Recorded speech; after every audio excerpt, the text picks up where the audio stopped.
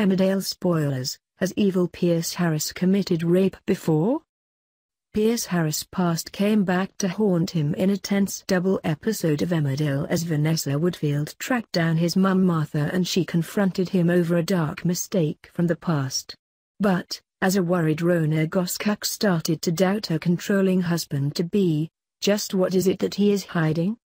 Whatever happened in the past is clearly significant enough for Martha to be able to say that she hopes Rhona finds out what type of man Pierce is.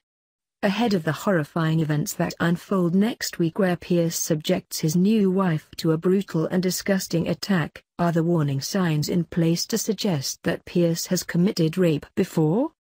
After Vanessa tracked Martha down, Pierce was shaken to see her and he lashed out at his mum, throwing insults at her and walking away. Concerned Martha later spoke to Rhona, making it clear that Pierce's recollection of his childhood may have been exaggerated and insisting that she always loved him. When Martha then told Rhona to ask Pierce about a mistake he made in the past, Rhona couldn't help but be shaken and when Pierce learned that Martha was making his fiancé think twice, he confronted his mother at the B&B, issuing her with threats as she told him that she had hoped he might have changed as a man.